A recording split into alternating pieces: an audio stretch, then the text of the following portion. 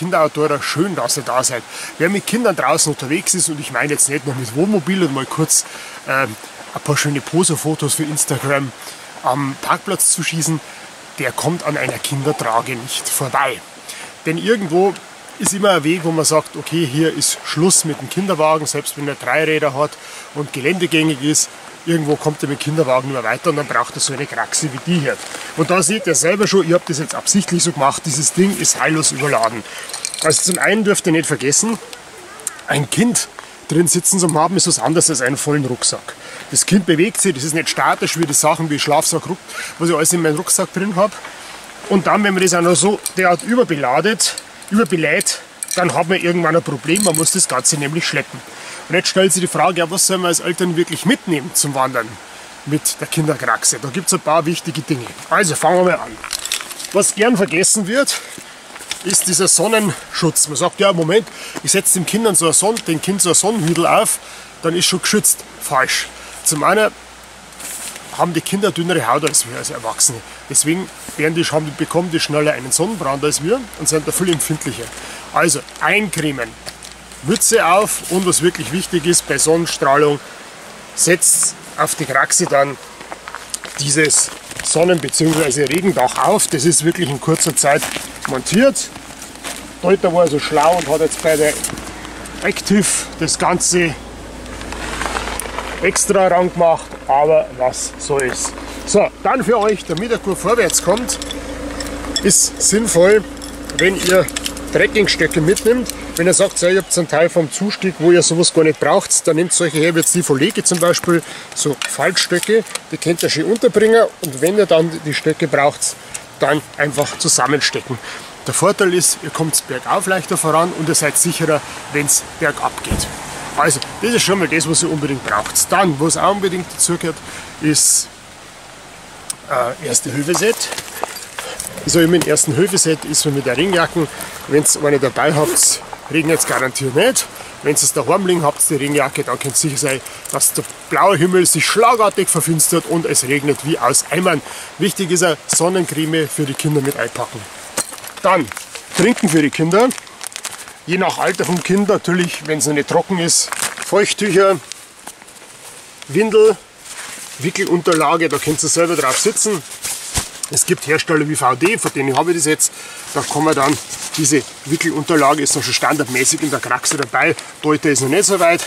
Und was dann auch noch ist, hier einen Regenüberzug passend für die Kraxe, damit das Kind nicht im Regen sitzt. Wichtig ist wirklich, wenn ihr die Kinderkraxe beladet, beschränkt euch aufs Nötigste. Also nicht zu viel reinpacken, ihr müsst es alles tragen, plus das Kind und das kann wirklich lang und heftig werden. Deswegen beschränkt euch aufs Nötigste, was ihr einpackt, für euch selber und auch fürs Kind. Ihr müsst ja nicht den ganzen Hausstand mittragen. Ich sehe das immer wieder, dass da vor allem Väter, die diese Teile schleppen, völlig überfordert sind und am Ende ihrer Kräfte, weil einfach die Kinderkraxe völlig überbeladen ist. Und hier gilt auch noch, schaut nach, was je nach Hersteller, was für Kindertrage ihr nehmt. Die haben auch alle eine maximale Zuladung. Ähm, bei Deuter sollte ein Kind bis 18 Kilogramm, bei VD bis 22 Kilogramm passt das rein. Äh, und auf jeden Fall nicht darüber sein, das Ganze. Das ist wirklich wichtig. Schaut drauf, dass das Ding nicht überladen ist. Ihr müsst es schleppen. In dem Sinn wünsche ich euch eine tolle Wanderung mit der Kinderkraxe. Schaut rein auf kinderauto.de. Wir haben tolle Wandervorschläge für euch. Ausrüstungsvorschläge, wo ihr mit den Kindern in der Berg, auf der Berghütte übernachten könnt, Outdoor-Rezepte und vieles mehr. Ihr dürft uns gerne liken und ihr dürft gerne unseren YouTube-Kanal abonnieren. So, und ich wandere jetzt los. In dem Sinn, macht's es gut. Denk, Servus, euer Uli.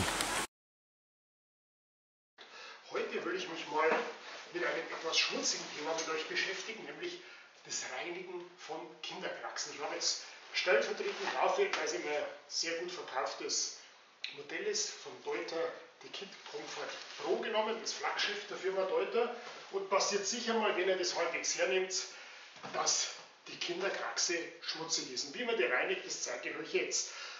Aber am besten, ich sage es euch auch mal, was ihr bitte nicht zum Reinigen hernehmen sollt.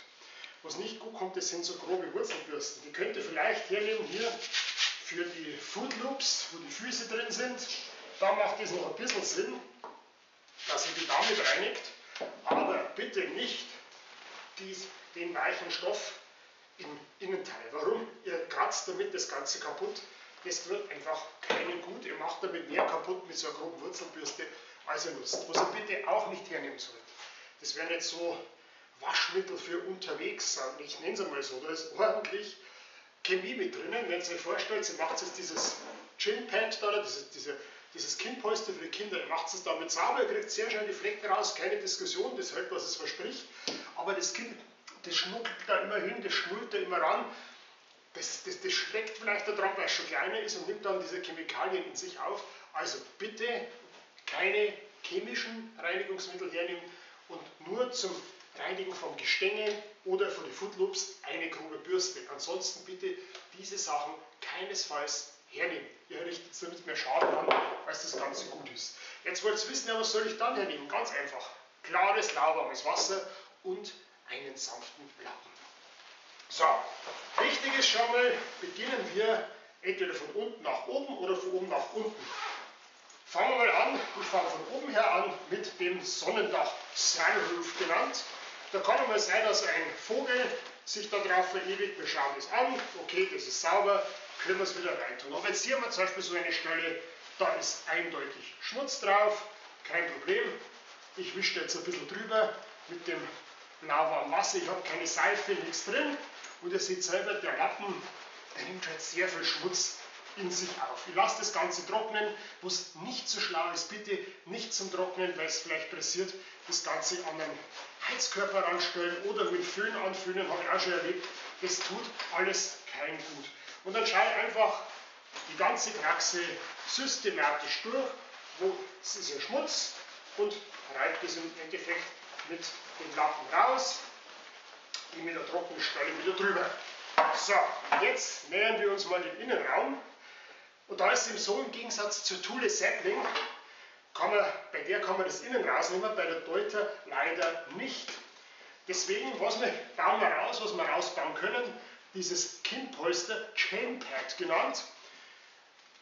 Das kannst du abmontieren ohne große Probleme und ihr könnt es auch rausnehmen und dann auseinanderbauen. Und hier dieses Teil ganz einfach 30 Grad Wäsche und es ist sauber. Und wie schon erwähnt, bitte nicht mit solchen Chemiebomben. Das kommt nicht gut, wenn die Kinder das später vielleicht mal im Mund nehmen und daran nuckeln. Das ist alles andere als in Ordnung. Also ganz normal in die Waschmaschine und fertig. Immer wieder schauen, wo gibt es hier Stellen, die gerade nicht so sauber sind und einfach drüber wischen mit dem Wasser und anschließend genügend Zeit geben, um das Ganze zu, dass das Ganze trocken. Was zum Beispiel sicher schmutzig sein wird, das sind diese Food Loops, wo die Füße, die Fußhalterung von den Kindern sind. Da könnt ihr immer was wischen, ist ja klar, weil die Kinder schauen noch nicht drauf, die steigen einfach rein. Dann hier unten an der Beckengurt. Und so geht ihr einfach systematisch vor und reinigt so die Kraxe. Sollte es irgendwo Beschädigung geben an der Kraxe, sagt Mensch, da habe ich es auf einen spitzen Stein abgestellt und jetzt ist da ein Loch drin, kein Problem. Bitte nicht anfangen, hier selbst zu nähen, lasst so was Profis machen.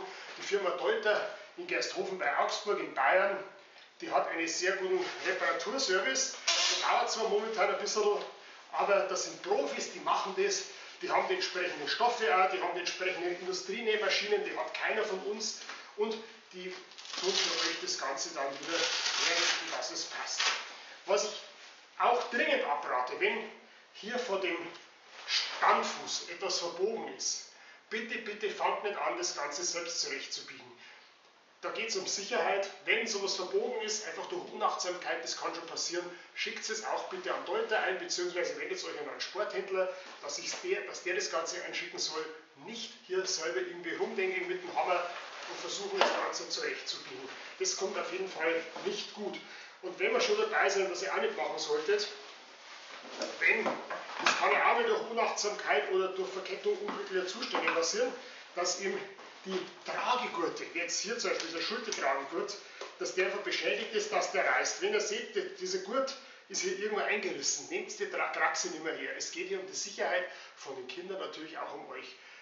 Es hat furchtbare Folgen, wenn ihr irgendwo mit den Kindern aufsteigt, da ist das Ganze eingerissen und plötzlich reißt der Gurt durch. Das muss nicht sein. Wenn ihr sowas seht, bitte auch nicht selbst versuchen zu beheben, schickt es bitte an Deuter ein, beziehungsweise über den Sporthändler an Deuter einschicken lassen. Das sind Profis, die kümmern sich darum. Dasselbe ist, wenn einmal so eine Schnalle hier zum Beispiel bricht. Bitte auch nicht ignorieren und sagen, ah, dann mache ich einfach Knoten rein und dann hält das Ganze schon. Ja, es hält, aber es ist lebensgefährlich fürs Kind. Bitte auch hier den Sporthändler geben, den Fachhändler, den stationären, der schickt es ein für euch oder ihm direkt an Deuter wenden. Da kriegt ihr Originalersatzteile und es wird von Profis ausgeführt, das Ganze. Ja, hier im Rückensystem ist relativ wenig zu machen. Ihr könnt da mit drüber gehen, klar, dass die Schweißreste wegkommen. Hier den Beckengurt. Aber ansonsten ist das Ganze jetzt dann wieder eine saubere Sache. Und ihr könnt Deuter Kinderkraxe wieder hernehmen. Weitere tolle Tipps für drinnen und draußen findet ihr auf kinderauto.de. Ihr dürft uns gerne liken, ihr dürft gerne unseren YouTube-Kanal abonnieren und ich freue mich sehr, euch wiederzusehen. Macht's gut bis dahin. Dank, Servus, euer Uli.